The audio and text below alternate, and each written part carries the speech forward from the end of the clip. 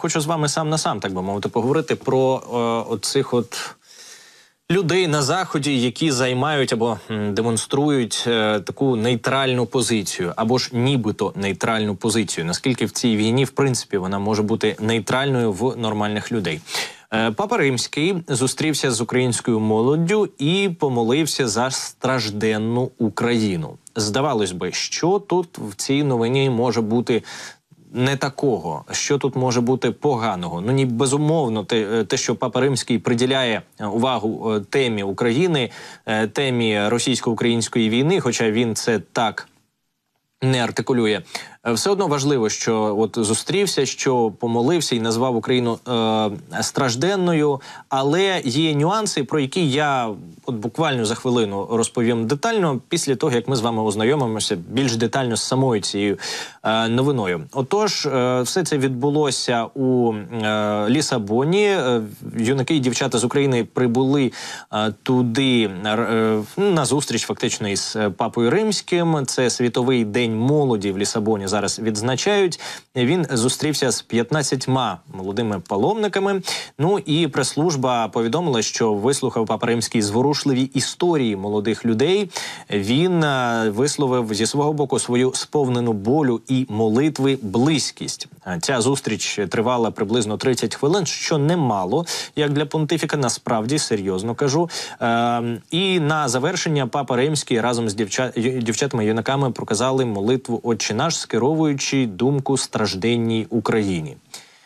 Все добре, окрім одного, а точніше кількох обставин.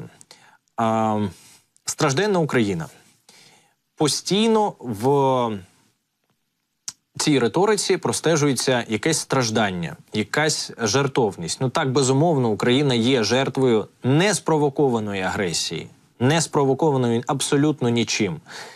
Е, Це абсолютно несправедлива війна і несправедлива агресія. Але ж ми ну не просто жертва. Ми ж то насправді символ боротьби і сили. Папа Римський на цьому традиційно не зупиняється. Він не м, говорить про ці чесноти, які є справді важливими для перемоги західного світу, для перемоги е, тій цивілізації, яку і західний світ, і дуже часто церква е, намагалися будувати впродовж багатьох століть, а то й десятиліть. І це, в принципі, така, ну я ж кажу, друга за тиждень е, промова папи.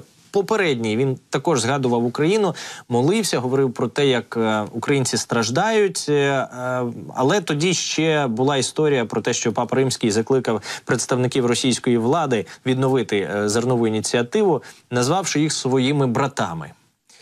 Можливо, зараз тут уже таке певне, знаєте, е, роз'яснення, пояснення з боку папи римського. Це така зустріч е, важлива була для того, щоб уточнити, що він все таки ну більше підтримує Україну ніж Росію. Але тоді це виглядало справді дивно, коли він назвав своїми братами представників російської влади. Знову ж таки.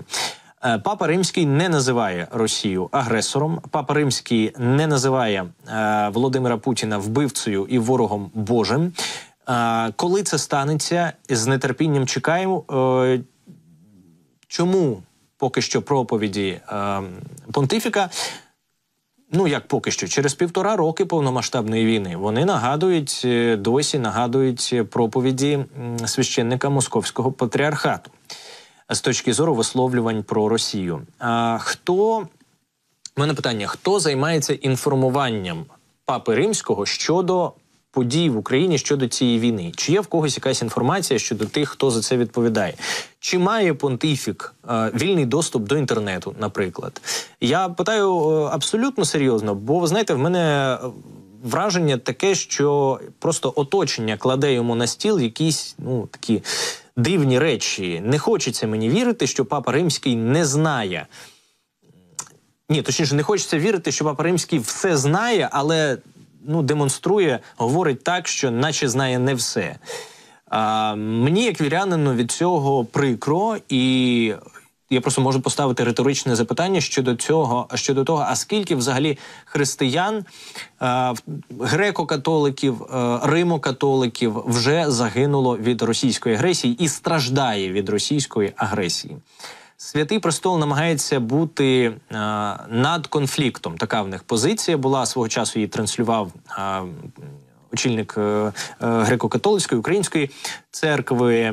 Ну, святий престол намагається бути е, над сторонами конфлікту, щоб бути зрештою виявитися посередником. Це можна зрозуміти було б, але і Ну, хочеться зрозуміти, а коли ж саме вони планують бути посередниками, і які саме сьогодні ре, е, ініціативи реалізує Святий Престол? Словом, хочеться справедливості. Е, і такої справедливості, щоб е, ну як мінімум про Україну говорили справедливо, говорили про цю війну. е, Щоб говорили все, що потрібно казати, а не тільки е, те, що зручно. Чому я приділяю таку увагу саме папі, римському? Та тому, що він є моральним лідером для сотень мільйонів людей по всьому світі, в першу чергу в країнах, які активно допомагають Україні, в тому числі в них. Тому е, я просто хочу резюмувати вже цю. Е, коротеньку промову знову ж таки закликом до наших людей, в тому числі до наших католиків, римокатоликів, греко-католиків, православних, всіх, хто перебуває зараз за кордоном. Ми маємо дос, достукатися до е, донести свою думку тим людям, які на заході е, чують. Е, чи то російську пропаганду, чи то принаймні час від часу слухають папу римського, який демонструє справді ну таку, знаєте, позицію трошки абстрактну. І я впевнений, що це одна з причин, чому на заході люди так хочуть всадити за стіл переговорів агресора і жертву. Це неправильно. Нам потрібно говорити з ними на всіх рівнях, на рівні от особистих контактів. Це дуже важливо. Будь ласка, продовжуємо це.